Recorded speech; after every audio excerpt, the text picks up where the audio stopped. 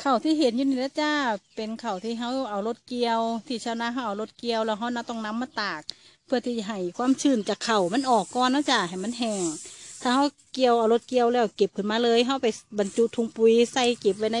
เก็บไว้ เวลากินมันสิ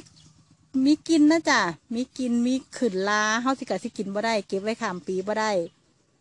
เขาต้องมาตากเพื่อที่จะไล่ความชื้นมันออกก่อน แต่ว่าต่างกับสมัยก่อน หรือสมัยปัจจุบัน ก็มีบางเจ้าจ้ะเพิ่นยังเอาเกี้ยวเกี่ยวหรือมือเขาเกี่ยว เพิ่นกะสีแล้วก็เก็บขึ้นเล่าไว้ได้เลยจ้ะ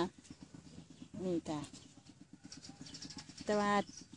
เอารถเกี่ยวเขาต้องเอามาตากไล่ความชื้นมันออกก่อนนะจ้ะตากให้มันแห้งเขาจังเก็บไว้กินข้ามปีได้จ้ะ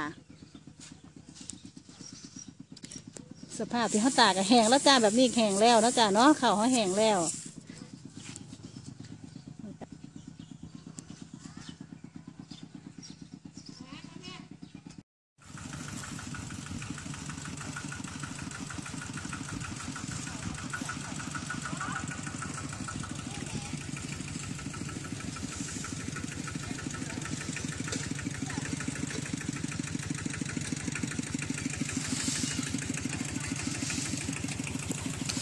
เข่าเต้นโอ้เต้นกู้พร้อม เข่าแห้งแล้วจ้า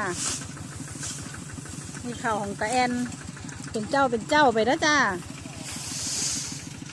เต็มร้านวัดทั้งเลยจ้า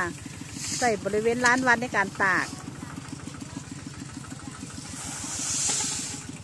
นี่จ้าก็เป็นขั้นตอนวิธีสุดท้ายแล้วที่เขาเกี่ยวเข่ารถเกี่ยว ตากเขาไล่ความชื้นมันออกเพื่อเขาจะได้เก็บไว้กินขามปีจ้ะเรือไปจำนายมันก็ยังสิบ่มีกินนะจ้ะบ่มีขึ้นล้า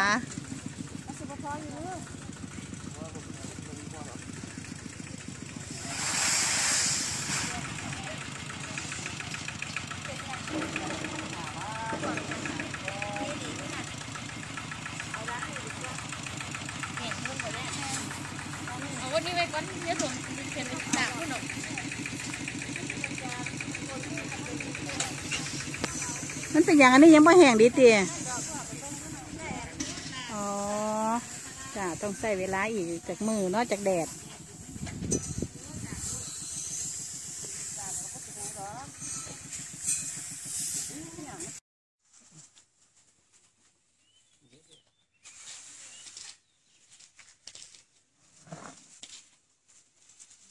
cô lan nữa lan nữa rồi